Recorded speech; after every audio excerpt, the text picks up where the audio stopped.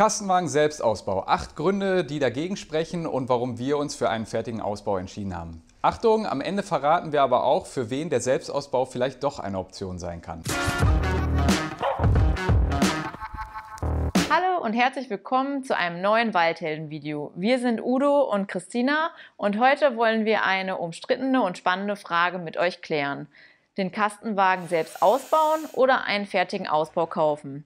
Auch wir haben uns lange damit beschäftigt und uns diese Frage gestellt. Unter anderem spielen hier die Kosten, der Wiederverkaufswert, aber auch das Gewicht eine wichtige Rolle.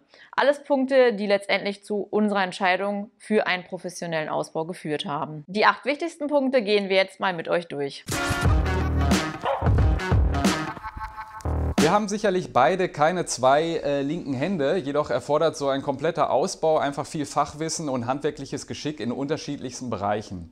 Mit etwas Recherche, Anleitung und etwas Hilfe würden wir uns den Ausbau schon zutrauen. Allerdings wüsste ich genau, dass er letztlich nie so perfekt werden würde, wie ich es gerne hätte. Ich bin halt Programmierer und kein Möbelschreiner. Wenn es nicht an den Fähigkeiten scheitert, dann einfach an der fehlenden Erfahrung. Ist es sinnvoller, wenn die Klappe nach oben, unten oder zur Seite aufgeht? Wo ist der beste Platz für die Elektrik? Welche Dämmung isoliert gut und fängt nicht irgendwann an zu schimmeln und so weiter und so fort? Über jede kleinste Sache müssten wir uns den Kopf zerbrechen oder lange recherchieren, weil wir einfach keinerlei Erfahrung mit dem Ausbau von Fahrzeugen haben. Da verlassen wir uns lieber auf die 40 Jahre Erfahrung von der Firma Chausson und lassen die unseren Van bauen. Nehmen wir kurz an, die bislang genannten Punkte würden uns von dem Plan, einen Kastenwagen selbst auszubauen, noch nicht abgebracht haben, dann würden wir jetzt eine Menge Werkzeug benötigen. Da so ein Ausbau sich über mehrere Wochen und Monate hinzieht, ist Leihen eigentlich keine Option und alles neu zu kaufen geht ins Geld. Wir haben zwar einige Werkzeuge zu Hause, aber teilweise so alt und verrostet, da hat schon Fred Feuerstein die Walze an seinem Wagen mitgewechselt. Das reicht für ein paar kleine Arbeiten aus, aber für einen längeren Zeitraum möchte man damit sicherlich nicht arbeiten. Okay, Werkzeug habt ihr also auch. Was ist mit einer Werkstatt oder einem Platz, um ungestört an eurem Fahrzeug rumzuschrauben? Vor allem in der kalten und regnerischen Jahreszeit wäre ein trockener oder vielleicht sogar beheizter Raum von Vorteil. Wir haben zwar eine große Garage, aber von der Höhe passt der Van leider überhaupt nicht rein. Eine Grube oder Bühne haben wir natürlich auch nicht, falls man mal was von unten am Van machen müsste. Hier würden also eventuell weitere Kosten für eine Werkstatt oder Halle anfallen. Wie gerade schon erwähnt, würde bei unserem Ausbau viel Zeit für Recherche draufgehen. Einige Dinge müssten sicherlich auch zwei- oder dreimal angegangen werden, weil sie aufgrund fehlender Erfahrung nicht auf Anhieb klappen würden. Aber selbst wenn man das mal außen vor lässt, kostet so ein kompletter Umbau auch einfach viel reine Arbeitszeit.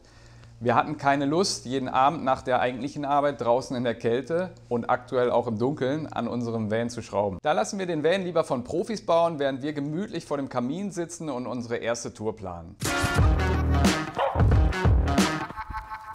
Ein weiterer Minuspunkt ist das Gesamtgewicht. Ein professioneller Ausbauer verwendet spezielle Materialien, die besonders leicht sind.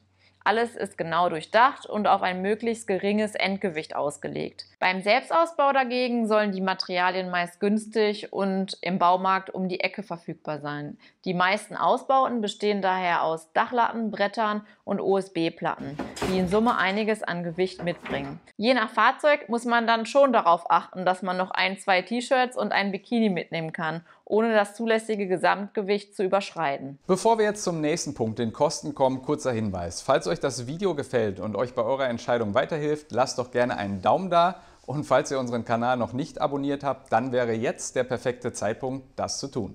Klickt am besten auch gleich die Glocke dazu, damit ihr keines unserer Videos mehr verpasst. Das hilft uns, diesen Kanal weiterzuentwickeln und regelmäßig jeden Sonntag neue Videos für euch zu produzieren.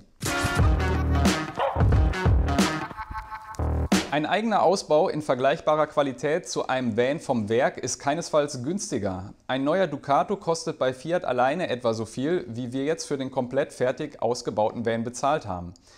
Nimmt man einen etwas jüngeren Gebrauchten, dann zahlt man dafür immer noch um die 25.000 Euro. Beim Ausbau hängt es dann natürlich von den verwendeten Materialien und der gewünschten Ausstattung ab.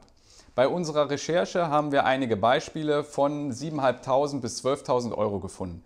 Rechnet man das grob zusammen, landet man ungefähr bei 35.000 Euro. Und wenn man jetzt überlegt, dass unser Van in der Basisausstattung fertig mit Markise und Solaranlage, allem Pipapo drum und dran, dann nur 1500 Euro mehr kostet, brauche ich nicht lange überlegen, ob ich mir die ganze Arbeit wirklich antun will.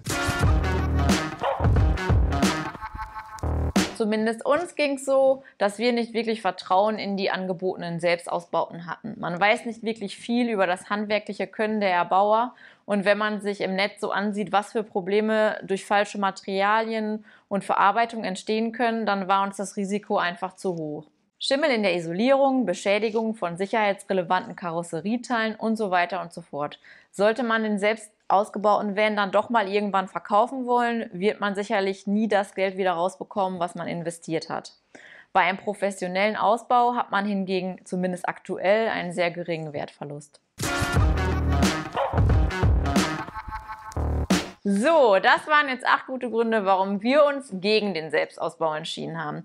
Trotzdem sieht man gerade hier auf YouTube immer mehr Leute, die mit einem wirklich schönen und teilweise auch günstigen Selbstausbau unterwegs sind.